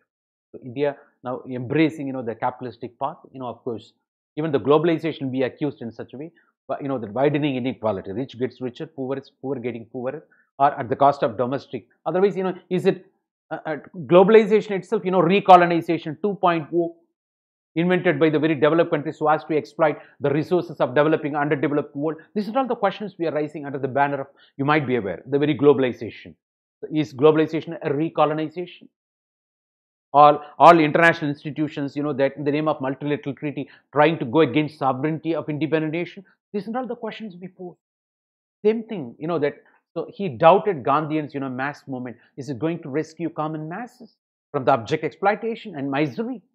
And misery, of course, you talk about, ladies and gentlemen. So that why it's because of the capitalism always bound to inflict, you know, that upon all these issues, ladies and gentlemen. So Desai, A.R. Desai mentioned how Gandhi, Mahatma Gandhi used to cajole uh, the industrial, you know, that uh, workers to maintain peace and tranquility. You know that you please maintain peace Despite being mercilessly, they were exploited by the factory owners. He spoke in favor of industrial capitalism. Gandhi. Know, at the Birla house he used to stay. for sponsorship, well, maybe you know he spoke in favor of you know that the very industrial workers, you know, uh, uh, you know that that that thing, you know, of course, because basically Marxists they're against you know that the capitalistic management, well, they will speak always in favor of workers because of exploitation, because of the surplus theory, you know, well, because of the inherent uh, uh simmering discontent, contra contradiction based on economic exploitation, house trying to exploit the have-nots, you know the story. So their sympathy is always with working class, not with owning class, capitalist. So naturally, A.R. Desai. It is that way, ladies and gentlemen.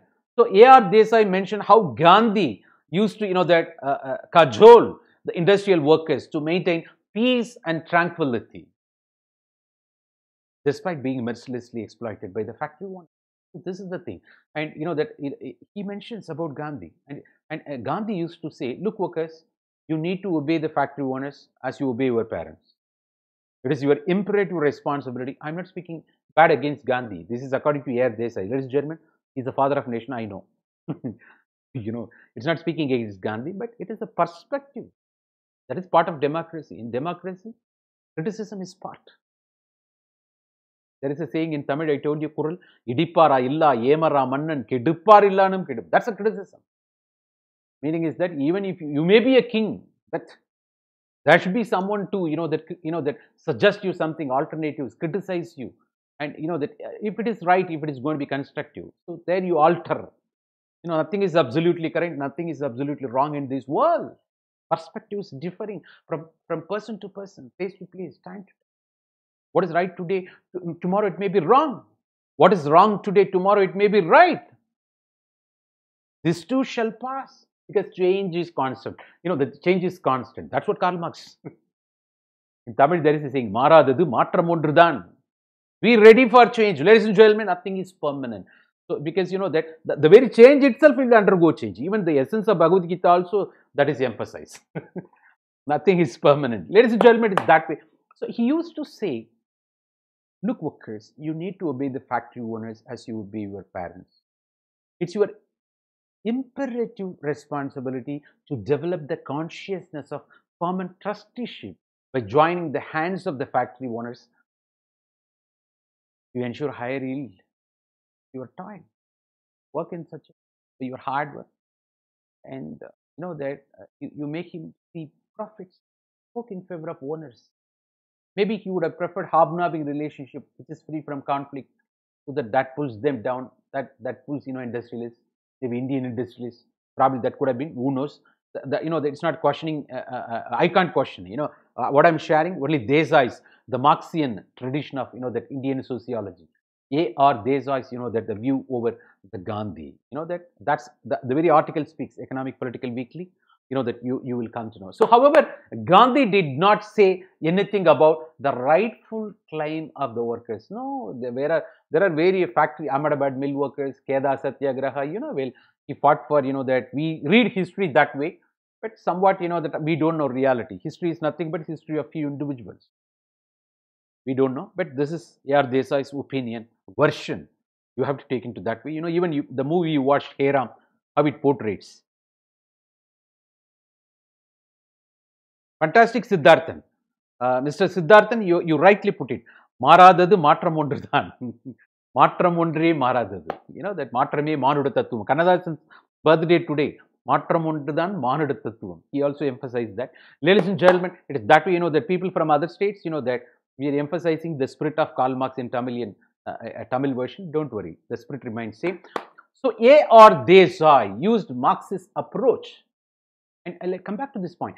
Gandhi did not say anything about rightful claim of the workers to get higher wage and perks in lieu of, you know, that higher factory production we are talking about. He, he never spoke in favor of that's that's his accusation, of course. Right. A.R. Desai used Marxist approach to study Indian nationalism. The approach, that's what we are talking now. He advocated, A.R. Desai advocated that the changing economic infrastructure of the society, Indian society, under British rule led to the emergence of new classes, English educated classes, you might be aware, the class conflict accordingly, and social change happened. You know, that that's what, you know, India's independence struggle, the social change, uh, and, and which is the cause of Indian nationalism. You know, that how, you know, it's that way. So, the economic infrastructure is the root that reflects class relations. The relationship is in terms of struggle, antagonism, conflicting, exploitative.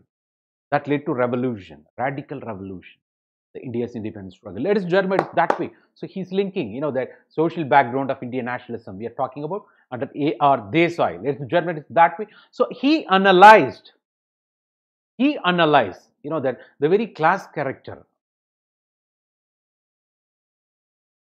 he analyzed the very class character of you know that Indian national movement in terms of economic you know the uh, developments of colonial period such as the rise of land tenure system you know very well zamindari rayatwari mahalwari you know different different you know the pattern you might be aware. So the, the very land tenure systems the industrial capitalism factory based mode of production and the development of you know the market based society market driven society all these things ladies and gentlemen we are talking about it is that way you know that uh, uh, uh, the Indian national movements, you know, with which he identified the, the situation ripe for applying the Marxian tradition, and especially the inherent inherent, you know, that contradictions, you know, that discontent we are talking about it is that way because of the exploitation happened. So the bourgeois, of course, capitalist class, the bourgeois leadership, the ownership, the, the bourgeois leadership of the movement fought uh, uh, to shape the movement to suit their own interests at the cost of interests of the masses. So, what happened right? See, we don't want British colonization, exploitation. We want to exploit our own masses. You go away. you know, the, the, conflict between two different elites, Western educated English elites, uh, uh, uh, uh, uh you know, elite classes and, and versus the, the British colonizers. So, we will exploit our people. You don't do. That's what we are doing now. Huh? Our corporate people, our leaders are doing exploiting us now the masses, right? And India, even today, it's said to be, you know, that widening social inequality, almost 10% of the population owning 90% of the resources. At the global level also, the corporate driven politics we are talking about, we are unable to, you know, fix even today, you know, that lot of social issues, though governments are trying very hard, apart from, you know, economic, uh, the global economic recession, subprime lending crisis, various reforms we introduce and it shocks the short term. Of course, it's going to benefit long term. But the thing we are talking about now, even the situation now getting worsened because of the COVID crisis. Yes, and and it's not a policy a paralysis, it is paralysis of implementation, the corruption and other social evils, social issues, centrifugal tendencies, the challenges. Apart from the external challenge, you know, the internal challenges we are talking about. So the bourgeois leadership of the movement fought to shape the movement to suit their own interests. The cap, their own, you know, that elites are capitalistics, are capitalist people of India, you know, that Indian capitalists. It's it's at the cost of interest of the masses. It's not favored masses. Of course, India got independence, but it's a failure of you know four and a half decades failure of the the, the bureaucratic mechanism. Uh, uh, we did not you know immediately benefit. We started correcting very late you know, all those, you know, that uh, uh, red tapeism, procedural delay, corruption, and widening social inequality, and also, you know, the old wine in a new bottle. Of course, we had democracy, the monarchy in the, in the dynasty rule, everything we were talking about. So the, the political distractions we had at the emergency era, you know, all those stuffs and, and Garibi Hatao, you know, the poverty, uh, you know, the, the, hunger, poverty, famine, everything we spoke. Because that, ladies and gentlemen, so the bourgeois leadership of the movement fought to shape the movement to suit their own interest. It is at the cost of interest of the masses, the people, the common populace. And gentlemen, so Desai advocated that India's, you know, that the freedom struggle was basically the result of the fundamental contradiction or disagreement between the interest of the Indian people on the one hand, especially Indian elites, and, and the British colonialism on the other. The contradiction, economic, over economic interest, over economic exploitation especially it's that way, you know, that the, the, the, essence of the Marxism is applied here by A.R. Desai. Of course, in Indian context, that's relevant also, you know, that you have to understand because every coin has got two sides. Ladies and gentlemen, so he claimed that those classes, you know, that yeah, yeah, you know, exactly, you know, that it happens everywhere, not only restricted to Tamil Nadu, you know, that uh, uh, overall we are talking about, you know, that of course, irrespective of the political parties, you know, that uh, hope our leaders will understand the scenario. So the, he claimed, A.R. Desai claimed that those classes supported the British rule, you know, that uh, which benefited from it. Of course, you know that what happened, the Indian elites, you know, that hobnobbing with, you know, that the Western elites, of course, European elites, of course, the British elites, the colonizers, you know, they started exploiting our own masses, you know, very well. a new class called rentier classes. You know, story what happened, right? You know that. So you know the story. Uh, whereas other interests, you know, that the clash with British rule, uh, you know that uh, uh, uh the, the supported the freedom struggle. Ladies and gentlemen, that the peasants, the tenants, and Indian capitalists we are talking about. He claimed those classes support the British rule, which benefited from it. You know that you know those were all supporting the British rule, they benefited. Whereas others, you know, that who opposed or whose interests clashed with the British rule, you know, that, but they supported the freedom struggle, especially overall they, the peasants, tenants, and Indian capitalists, you know, that some those days, you know, that Tata Birla, you know, that how they, you know, that did for nation, nation's development, you know, uh, they, they cooperated in so many ways, you might be aware, you know, that that's, that's true, you know, that there are the patriotic Indian national, even today you talk about the, the very uh, integrity uh, based, you know, that Tata Enterprises, you know, that one's interview, you know, that they asked, you know, that how come, you know, that you are uh, uh, Ratan Tata and here is Ambani, you know, that, we are actually industrialists, they are business people. That's what the statement made by Ratan Tata, you know, that about when, when he was compared with the Tata Enterprises compared with the Reliance Industries, you might be aware. The difference between industrialists and business people. Of course, you know, we had industrialists uh, based value system to support Indian causes. You might be aware. Ladies and gentlemen, it's that way. So, thus Indian nationalism was strongly influenced by the social background of the people involved in the freedom struggle. Who are all they? The English educated, the Western educated intelligentsia. You know, of course, you know that. So there are also two categories. One supported British colonizers, colonizers. One supported, you know, the Indian masses and India's independence uh, uh, uh you know, the for freedom, otherwise, you know, that you might be aware. So, Desai, A.R. Desai argues that the basic character of Indian national movement throughout its career remained bourgeois. Understand what I'm talking about? Ladies and gentlemen, so the basic character of Indian national movement throughout its, you know, the, the full swing, you know, that it's bourgeois centric, bourgeois in the sense, you know, ownership, uh, uh, the capitalist owner. You know, the, it was it, it was not you know the mass centric, bourgeois centric. That is what you know Desai's justification. He is not ready to accept that the mass movement is that way. It is elitist. That's the color. Ladies and gentlemen, so Desai in his book Social Background of Indian Nationalism, of course, you know that uh, 1948, uh, you know that did not discuss the class concerns because you know that of Indian nationalism that rendered you know that the freedom movement you know that elitist, but you know he he took it to that way you know that they say you know that it's the, it's not a mass movement it's elitist you know that the top class people you know that who had their own uh, you know the uh, uh, uh, connivance with you know the the very British colonizers that way ladies and gentlemen we are talking about it. I think it is that way so he had limitless you know that uh, uh, trust in socialism might be aware right so, very A.R. Desai had trust in socialism and believed that socialism is a panacea, solution. You know, it's going to address all these issues, you know, to allay all, allay all social problems plaguing capitalism. You know, that, you know, because the establishment of classless communist society is a solution for the exploitative, you know, that the capitalist society, that's according to Karl Marx. Same is the principle they are applying here. Ladies and gentlemen, not more than that. It is that way we are talking about. Ladies and gentlemen, that tendency, you know, that it's fantastic. I think let me take you to the next level. Yes. So, in his entire life, you know, that whatever he could write, you know, that his one point obsession remained with the abolition of capitalism in place, you know, that he favored the rise of our, our presence of, you know, the very socialist, you know, that so abolition of capitalism and the establishment of classless communist society.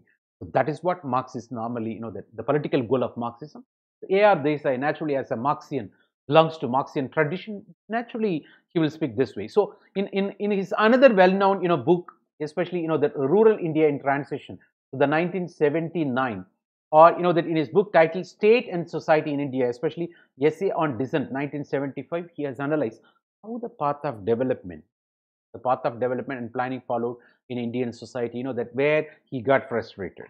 In 1940s, you know all his contributions uh, on the one side it was rejected by British colonization, on the other side the people were under, you know, that uh, uh, India got, you know, that independence, they were under euphoria that all these plans, independence euphoria, plans going to fetch us that thing, this thing. So he could not do anything. 70s, in the 70s, the failure of all this planning, the developmental activities in India, people got frustrated, the widening social inequality. That time people started recognizing you know, that it became quite relevant. You know, that that's what the 15th, you know, the sociological conference where he spoke there. So his yet another insightful work title, The India's Path, we are going to elaborate this also, India's Path of Development. In 1984, he showed how the role of Indian government, you know, the provided to be miserable, you know, that and coercive. How, you know, that, you know, the, the control, even Indira Gandhi was, you know, the equator, you know, the 42nd constitutional amendment, the fight between DPSP and FR, you know, very well, even emergency era, how the dictatorship, like, you know, the characteristics, you know, that, uh, uh, the, you know, that uh, former Prime Minister Indira Gandhi was criticized those days, the emergency era of excessiveness, you know, uh, the, the forced family planning, you know, associated violence, even, uh, uh, uh, Uh, uh, uh, you know, the, the, the Khalistan movement, you know, she went against, and, you know, all those stuffs ultimately we are talking about. But every leader has got, you know, his or her own justification during the rule. But of course, the interpretations are many. But of course, you have to understand it. So the role of Indian government proved to be miserable, coercive. Here, this in general, what we are talking, it's not our political opinion. A.R. Desai's opinion, you have to take into account from Marxian perspective. Ladies and gentlemen, you uh, try to understand Indian society as A.R. Desai try to understand Indian society, applying Marxian tradition. You have to look at from that particular prism. Okay. Don't don't get biased. Don't get influenced. Look at from angle that particular angle. Yes, why he identified India? Why he identified India as a capitalist country? Despite the presence of several stark features of colonialism and feudalism, there is a question you know that you can pose. You know why A.R. Desai identified India as a capitalist country? You might be aware because you know because of British colonization, they took the nation to the capitalistic establishment. All their pre-colonial, you know, the, the pre-capitalist features, you know, that we had once completely, you know, that was destroyed by the policies of exploitation. That's why, you know, that they took us to the level of capitalist country, no doubt. Now also we are leaning towards more of capitalism, you know very well. That's different scenario. So Desai promptly replied, those were pre-capitalist, you know, that those were the pre-capitalist features that could be present, but these were on the wane. You know what happened, right? You know that that came down and the economy you know that uh, uh you know that leading towards capitalism ladies and gentlemen we are talking about you know that all those pre-capitalist of course you know that you're talking about monarchical features uh, uh, relatively socialist features you know completely destroyed but prior to you know that arrival of east india company of course you know british administration we never had you know that one nation you might be aware so all you know princely states you know that the mughal rules of course you know well so but there are reasons to argue that he described Indian economy, you know, with such nomenclature, the names, different, different names, in order to draw an easy and swift transition from, you know, that capitalism to socialism. Ladies and gentlemen, we are talking about this, you know, the, the shift, the transformation, we are talking about it is that way. He used only different phraseology using, you know, that Marxian tradition. I think it is right time. Let me take you to the next level. Yes, this is India's path of development. You know, excuse me.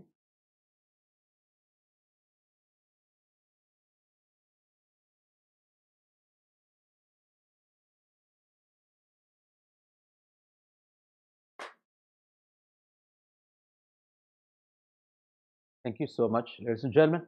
Yeah, this is Success Sampath interacting with you. Ladies and gentlemen, welcoming you to Unacademy once again. We are discussing, you know, Indian sociologists after G.S. Ghurye, you know, that the very immense universe. Today we are discussing, you know, uh, uh, the Marxian tradition in Indian sociology, especially by A.R. Desai. Ladies and gentlemen, so it is India's, you know, that the path of development. A.R. Desai has applied a dialectical approach. You know, what do you mean by dialectism? study of contradiction because the Marxian version is otherwise called dialectical materialism, historical materialism we spoke already. Dialectism is study of contradiction, one opposing another.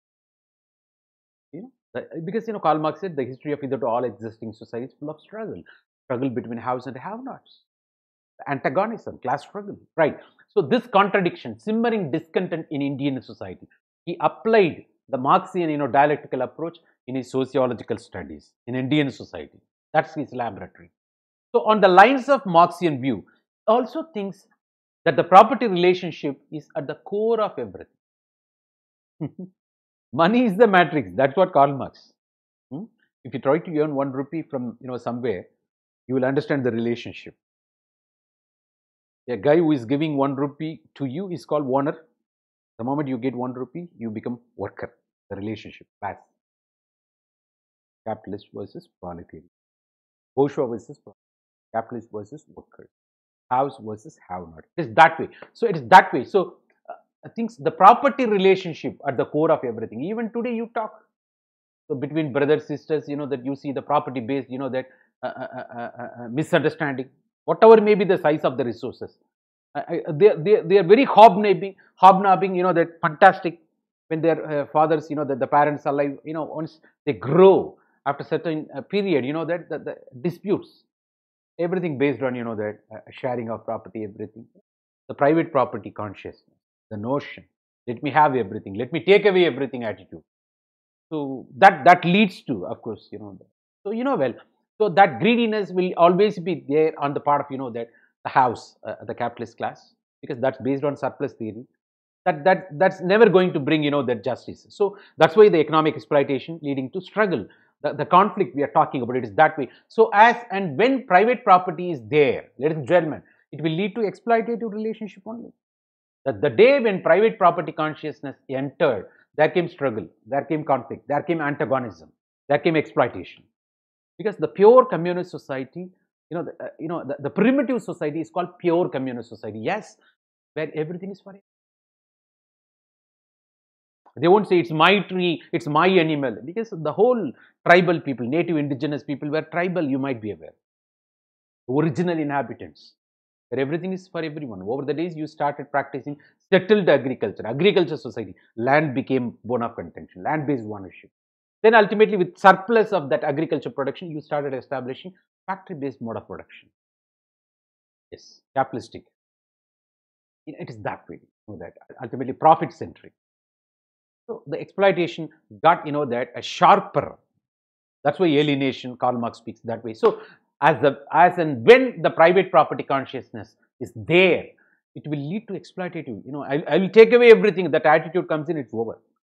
So uh, uh, uh, then it is it's it's going away from the justice, social justice. It is that way. So there won't be hobnobbing. There won't be consensus. Then that, that, that leads to disputes entering into court. You know that's what happening. Struggle, exploitation, antagonism, everything. So uh, it is that way, ladies and gentlemen. He envisaged, contemplated that Indian nationalism is a product of material conditions. Know that India's material conditions, you know, the created by British colonization or colonialism, and it did not exist in the British, you know, that era. You know that it is they came here, they established, they exploited our resources, and ultimately created the material condition situation. To have control over that, there came the fight between Western educated, you know, Indian, Indian intelligentsia, Indian elite, a section of Indian elites on the one hand versus the British colonized. That's the way. It is not the struggle between Indian masses versus British colonizers. This is according to A.R. Desai, the Marxian tradition. It is a struggle between, you know, that uh, uh, uh two exploiters. the Western educated, you know, that Indian elites who want to exploit Indian resources, you know, the versus British exploiters. And there were Western educated, you know, that Indian uh, capitalists also with, you know, that the, uh, uh, in favor of India, in favor of uh, uh, India's independent struggle, mass movement. As I said, you know, the Tata and Birla, those people, you know, that you might be aware. It is that way. Those days I am talking about. Today's corporate is totally different. You know well. You know, you apply. Ladies and gentlemen, it's that way. So he and uh, lobby, quid pro quo, corporate-driven politics we are talking today, but not of that industrialists. So he envisaged, you know, that the nationalism in India is a product of material conditions created by British colonialism and that did not exist in the pre-British. The, the, moment the private property entered the exploitative relationship, the idea, na? even Robert Clive, you know that how a scandalous, corrupt guy who came and rose to the great levels, you know that you know very well. It's all, it's all, it's all the story. There's a gentleman, it's that way we are talking about. So the, the British rule simultaneously led to the disintegration. We are talking about. You know, British rule simultaneously led to uh, the disintegration of you know the economy. And several other you know it is exploited it is destroyed. The cottage based domestic industries you might be aware in place they brought factory based mode of production you know ultimately. So that favored them. And you know our our economy you know that uh, uh, got reduced to the level in such a way uh, uh to feed their industrialization otherwise you know their finished products ultimately flooding indian markets of course, British Indian markets, we got reduced to market level. You might, consumers level, you might be aware. So the British rule simultaneously led to the disintegration of, you know, that uh, uh, the economy and, and several other, you know, that the changes, you know, that which created a new social condition. We're talking about and new social conditions and class structure. You know that so uh, uh, this British exploitation resulted in not only the destruction or, or disintegration of uh, uh, the native indigenous, you know, that economy, and also several changes, you know, that in terms of bureaucracy, in terms of emergence of middle class, in terms of railway, postal. Uh, there are so many modern things brought in, no doubt at all. But you know that after after their exit, you know, we benefited. That's cool. But you know, they brought in not to you know that ensure the welfare of Indian people, Indian masses, but to further their exploitation. That's for your kind information. But it's not free from you know that impact on Indian society, Indian way of life also. It's that way, ladies and gentlemen. So this ultimately, you know, provided space to sense, you know, the uh, sense of the deprivation and conscious sense of deprivation. You feel relatively deprived. You're not allowed to enjoy what the British people were allowed to enjoy. You were restricted all round. They controlled us. They restricted, and rather they exploited our resources. It is that way you, we were deprived. The, the space to sense of deprivation. You are prevented from enjoying something which you know that the British people were allowed to do.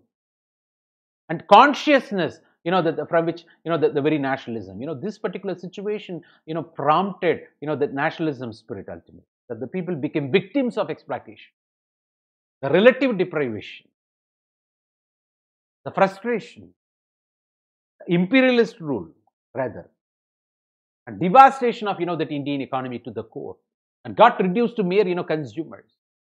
So all round forced famine, you know well what happened everything. You know that uh, you know they were you know the, the Britain itself came down after waging war. The, the various the two wars you know they they became bankrupt. Otherwise they wouldn't have you know that stopped. You might be aware. So all these world wars you know we have to thank also parallelly. Of course you know that loss of casualties, loss of lives, different story but you know that these guys have become bankrupt. That's why you know that they withdrew from you know different colonies. Otherwise they wouldn't have. They would have continued to exploit you know the uh, different you know colonies they had throughout the world. The, the, asia africa even latin america. You know the story. So the british conquest of india you know that led to the, the transformation of feudal economy to capitalist economy. For the idea from east india company you know that they got once they assumed 1857 Sepoy Mutiny, Magna Carta, you know that of India's, you know that history might be aware. The British directly assumed the power, and various governor generals came. You know they practice here all their exploitative, you know that uh, systematic exploitation they did. So what happened, right? That led to transformation of feudal agriculture-based economy to capitalist economy, factory-based mode of production in place of cottage-based agriculture-dependent economy. You might be aware. This led to the disruption that it, it, it destroyed the fabric of old order. Uh, the old land relations also, you know that. So our own, you know, that native indigenous people lost their lands because of their various exploitative policies. Uh, uh, the rentier class, of course, you know, came. The intermediaries benefited. You know, we call kanganis. You know that all your HR people, in the IT world, you call kanganis. they they they connived with you know the, the British people so as to exploit Indian masses more various zamindaris, ryotwaris, you know, all those, you know, the, the mechanisms, you know, ultimately making uh, uh, the Indian agriculture people, you know, that landlords, you know, bankrupt, you might be, they, they, they, they lost everything. So led to the disruption of the old land relations, you might be aware. It is that way. So in place of, you know, the, the village commune, a community, of course, you know, appeared the modern peasant proprietors, you know, the, the modernity came the peasant proprietors, you know, that the, the complete relationship, you know, that uh, based on land got altered because of the exploitation. Or, or zamindars as private owners of land, you might be aware, you know, they are intermediaries. That's the idea, no?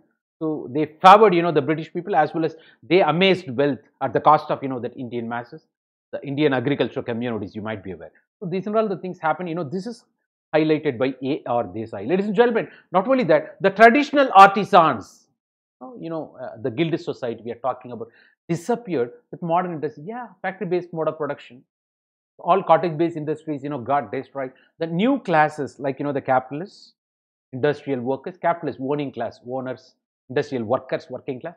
Of course, you know, laborers, the tenants, you know, that rentier class tenants and merchants, you know, the different different classes emerged. So you had one setup in place of that. you know, that you, got a new setup after this exploitation, where, you know, that the people got affected, Indian masses, you know, that got affected all round because of the emergence of the, the private property because of the British exploitation. You might be aware. So there was an emergence of middle class also. Though we are talking about, you know, that house on the one hand, the capitalists, and have-nots on the other. There are emergence of middle classes, you know, who have got, you know, the technical skills, English education, you know, that completely relying on, you know, they are sons of Saraswati, sons and daughters of Saraswati. Huh? May not be Lakshmi.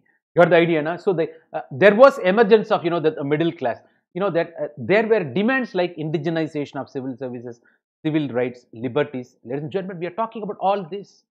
So it is that way, you know, that it's not only, you know, the, the British uh, Britishers coming and ruling here. Of course, Indians also started participating.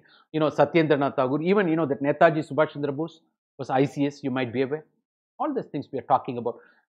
So, indigenization of civil service and civil rights, you have to personalize, customize to the local tradition and also the press freedom, Ilbert Bill, everything you heard, right? It is that way. So, there was a feeling of deprivation and simmering discontent. You know, once you are prevented from enjoying something of your own resources. Rather, the British colonizers were exploiting you, enjoying you in front of your eyes. That resulted in, you know, there's some sort of dissatisfaction, the contradiction, the exploitation they were unable to tolerate. Simmering discontent that led to conflict, antagonism, the class conflict you are talking about, ladies and gentlemen. So he stated that although the British government initiated the various exploitative measures in India, but unintentionally, this is what we say, manifest function, latent function, manifest function, latent function, manifest function, you are very clear this is what going to happen. Latent function, you never recognize this, you are unaware, it is hidden. So, British people, they were doing all those exploitative measures. Parallelly, a good thing happened for India unintentionally. Not British people thought about it, unintentionally. These efforts led to unification of the country. The patriotism, the nationalism spirit came. India has one land. Because all all victims you know came together. All all you know the victims of you know british exploitation uh, british policies of exploitation came together who lost everything you know that came together uh, to drive away this you know the colonizers or, or exploiters or imperialists. You might be aware. Ladies and gentlemen we are talking about this way. I think it is right time you know that let me take you uh, to the next level. Of course what is this you know not only that the role of railways press you know everything you know that the significant in this direction we are talking about. You know that they did everything built everything for their own exploitation but that benefited later we people.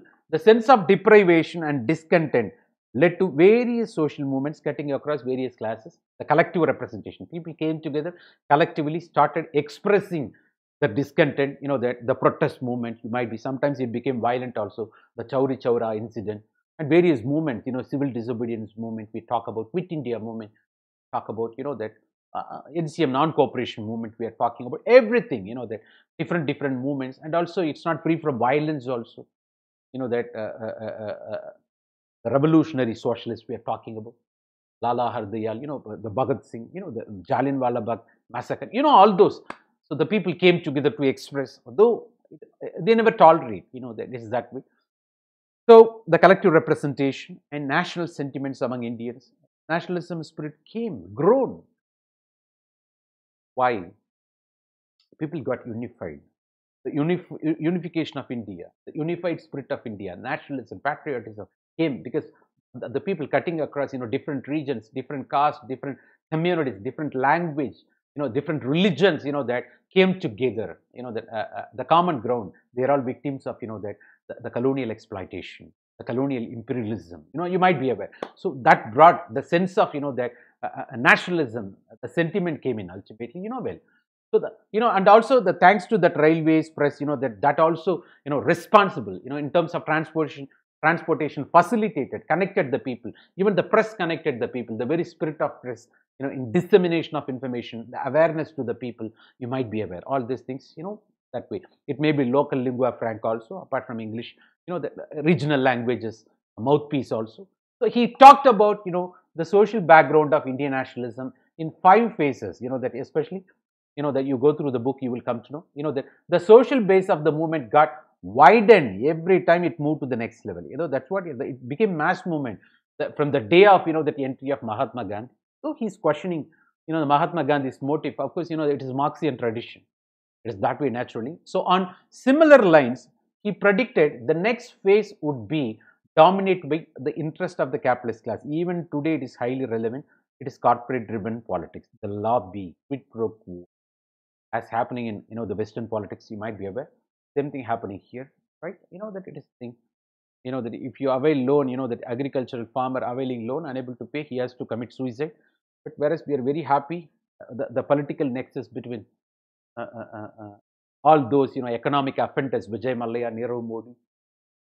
it is prominent to people. You got list of people. They were they were surviving with the, with the patronage by various political leaders. You might be aware. You know all these things we are talking about. So that resulted in bankrupt of you know that Indian banking mechanism. You know story, ladies and gentlemen. But in spite of that, you know the government. We are all irrespective of political party very keen to uh, uh, you know that support the, the corporate corporate concession, corporate measures. That's what we say corporate driven politics we are talking about. Ladies and gentlemen, so you know that uh, this is all the capitalistic line thinking, capitalist, uh, uh, you know that uh, uh, the capitalism inflicting upon the Indian society. You can't escape from that. It's natural. The byproduct. Ladies and gentlemen, the process giving its products. Ladies and gentlemen, there would be uh, issues like you know the communalism, that uh, under India's path of development, A.R. Desai's prediction, the capitalistic formation and communalism and interprovincial live, you know, rivalries. Of course, there will be, you know, the rivalries, you know, he predicted that way. I don't know, but it's not happening. But, you know, that interprovincial rivalries. Of course, you know, that uh, we are talking about cooperative federalism, competitive federalism. You know, the, the BIMARU states ultimately, you know, benefiting more, though they, they do nothing. of course, they are, they are, they also started doing something you might be aware. Uh, uh, uh, the developmental activities, that's different scenario. But as you got European Union PIGS nations, you got BIMARU states in India, the western states, southern states whose parameters can be equated with European countries, they have started complaining. There should be, even the Finance Commission Article 280, they are talking about, there should be, uh, the, the, terms of reference, there should be performance-based incentives, they are talking about. You might be aware. And, and the 42% uh, share is not sufficient, you have to give more. The cry is there, you might be aware. And also, the fund for disaster management, everything they are talking there, you might be aware. Ladies and gentlemen, under even the Niti Aayog, you know that, you know, center-state relations, how the federalism spirit is compromised. So definitely you, you take that way, interprovincial, uh, uh, the regional differences, you know, uh, uh, it is that way. So India's, even the political representation we speak about, you know, that only North and West are getting represented in the majority rule now. You know, it should be diversified to incorporate uh, uh, from you know the uh, the south, east, and northeastern portion more to have you know diversified governance. When we are talking about reforms in the United Nations organization, 75th year, we have to do reform also to make it the political representation should be diversified so that you can accommodate more union ministers from south, east, and the northeast also to to, to be representative. To, to make relevance, you know, that uh, uh, to be more precise in terms of administration. Ladies and gentlemen, of course, you know, the leaders should decide. So it is that way, and opposition to mass struggles, you know, the by uh, uh, uh, you know that leaders, you know that it is that way. So the people are not ready to tolerate. Our leaders are not, you know, that uh, aversion to the mass struggle. You know that's why they try to control, you know, very well all these things happening. That's what you know they, they will impose a law and order deterioration, Article 356. You know well. Otherwise, all those protests happen. You know that Sterlite or any environmental degradation or any protest, even the, the, the big projects, eight lane projects between Salem and the Chennai the, for to support Jindal, how at the cost of agricultural lands, you know. So, but but the leaders, you know, that who signed this, you know, the deal with corporate people, but they go against people, they go against mass struggle. So the very leaders who have who instead of speaking for masses, they started speaking for corporate. That's why we say corporate-driven politics. Eh? Lobby, quid pro quo. It is that way. Ladies and gentlemen, you understand better. So, these would be likely features of the next phase of development. This is a, see, it's, it's like prophet, messiah, like Karl Marx, he started about Indian society. His laboratory is Indian society. It's true also, it's happening also. Something he said in 1970s. So, today we are uh, reaping the benefits. So, these would be likely features of the next phase of development. That's what India's path of development he predicts in such a way, right? It is that way. The underlying factor is you know that that social unrest is rooted in capitalist path of development followed because you know he prescribes the solution as you know that uh, uh, the very socialism in place of exploitative capitalism. You know very well that's what marxism is all about. Naturally, here Desai belonging to Marxian tradition will bring that, no doubt at all, right? Ladies and gentlemen, we are talking about the very criticisms. Of course, you know, this approach to Indian nationalism was criticized for being economic determinist because, you know, the, the uh, material has become matrix. You never go beyond materialistic lens. That's a criticism you're talking about. So Yogendra Singh also, you know, that advocated. Yogendra Singh, you know very well in social change we are going to discuss, who wrote the book Modernization of Indian Tradition. It is he who advocated that, you know, it lacked empirical verification. There is no proof, he says. There is no, you know, there is no scientific basis for that. That's what, maybe it is ideological than empirical. This is according to Yogendra Singh about, you know, here this you know, contribution. Ladies and gentlemen, we are talking about. So, this is criticism part. Eh? You express your top, sir. it is that way, you know, you raise your, you know, it is that way objection. Uh, against, you know, yeah, is Marxian tradition. Nothing to do with me. I, I hope you understand better. You cooperate. Fantastic. Ladies and gentlemen, so moreover, many vital questions afflicting the life of average common Indian was unable to find an incisive, incisive resonance in his writings. You know, this is what so most of the, you know, that very minutest details not finding place. As he said, the socio-cultural structure, maybe in terms of caste, jajmani system, even jajmani system, he said exploitative, the very year they say. Even the caste system and socio religious dominance. As he said, you know, that Indian way of life is Hindu way of life. There are minorities, no doubt. Even Indian minorities tuning to the, you know, the lifestyle of, you know, that majority religion. Maybe different religion and, and a common culture you see, as you see in Indonesia. In Indonesia, the currency you will see Lord Ganesha's, you know that, uh, uh you know that uh, uh, scripture. Of course, Lord Ganesha's photo there. Of course, you know the drawings there in the very currency. So, though they are Muslims, majority Muslims, largest Muslim population, you know very well, but they share common culture. So, uh, the same way, India, the Hindu way of life in terms of culture, I am speaking, not now, it's not going against minorities. Ladies and gentlemen, you understand, even the Indian minorities tuned to the, the Hindu way of living in such a way predominantly that will be there. That's what influence, ladies and gentlemen, we are talking about. And uh, that looks odd when they when they try to you know trace origin from Middle East countries. You know that that that becomes you know that you know all those you know well how the political leaders are entering into conflict, right? So, moreover, many vital questions afflicting the life of average common Indian was unable to find incisive, you know, that uh, uh, uh, incisive, you know, that resonance in his writing. So, the minute details he missed, that's accusation we are talking about. So, instead, he preferred incessantly, you know, that continuously to portray the pre-conclusive, you know, it's a preclusion. This is what will happen, like, like ideological, like, like prophet-like, uh, you know, that prophecy-like.